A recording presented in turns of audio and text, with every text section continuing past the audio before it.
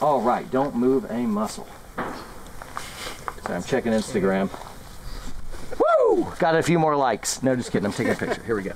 Guys, what's happening? In this video, we're going to teach you a little bit about how to use cover and concealment in the best way possible. So free information, and you're going to be coming into a class with us. If you'd like to train with us, it's hard to get in a Warrior Poet class. We sell out pretty darn quick, but if you become a patron, we give you a 48 hour head start before the public ends up trying to get access to classes. It's almost the only way you can even get in classes now, and it, the support means a lot. If you want to hang out with us for a long time, we have a trip coming up. It's a 12 day trip to Israel, and uh, you're invited. So, anyway, you can sign up, check below in the links. I'm going to drive through, I can't stop.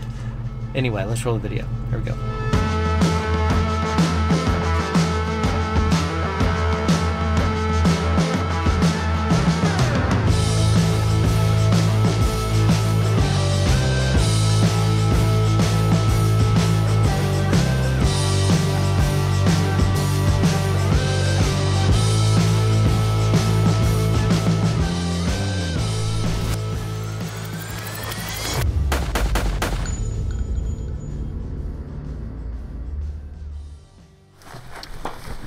All right, so I wanted to talk about C-clamps. It's pretty darn easy.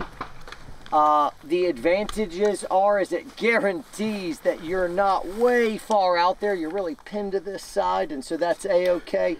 The disadvantages are is it can be a little bit difficult to get into, especially when you have different optics. Or I'm not optics, but we have flash lights and lasers and different switches and vertical foregrips and you're doing shoulder transitions, it can be a little bit uh, more difficult.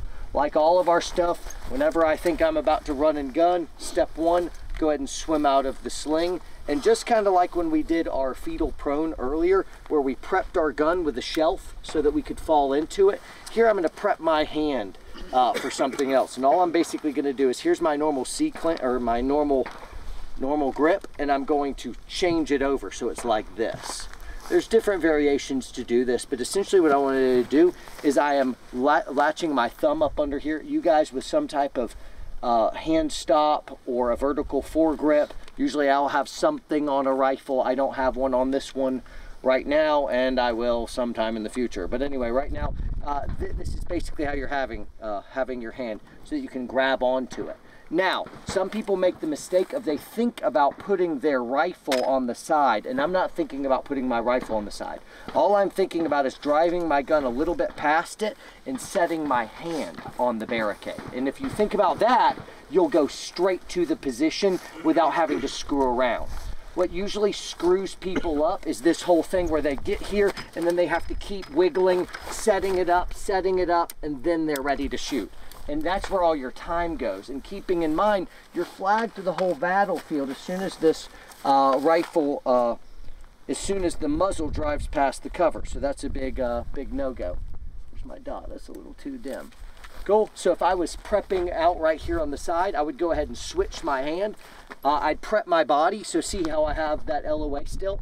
And I'm not flagged at all and everything's in tight. And then I'll drive past it and I'm just thinking about putting my hand on the piece I can immediately make that shot. And they have no time, and that's the big goal. Pretty good? Yep. All right, so again, here I'm, uh, I'm gonna do the kneeling, remembering that limit of advance, because what is the great unforgivable sin with cover concealment? Flagging. Uh, never flag. And what's the dirty secret is everyone's flagging. So here I am, I'm coming up on this. I find that LOA kind of place right here. I'll go ahead and switch my hand and I'm ready to lunge forward and I hit and and make that shot nice and easy even at some distance on the small target. Pretty cool. Uh, the other one, pretty darn simple. It's just the good old, it's just the good old uh, shoulder transition and I'm gonna do the exact same mirrored thing where I, I grab basically right here. It's the thumb and finger which really do, does it. Now I've got a flashlight on this side so I've got to remember I'm not going to drive my gun completely straight so I don't get hung up. Instead, I come out just a little bit, drive past, and then I snap in toward where the hand is to be able to uh, make it. Tried to miss, so I had to rain thunder so you knew I'd still get it. Uh, questions on this? You were still putting your hand on your I didn't quite see. You're putting your hand on your mag well. Yeah, but I switched as soon as I uh, went. So, yeah, I did for the transition, but once I got there, I did one more step out so I could go okay. ahead. Got do it. my thing. C-clamp. C-clamp. C-clamps are real simple. I want y'all to just practice them here. After you practice them a little bit, you'll have it. You'll need a lot of proficiency to get real good and quick with it, but really it's about prepping and knowing what to do. So in review, same LOA stuff, swim out of the sling, go ahead and reverse the hand and think about putting the hand on. Cool. And don't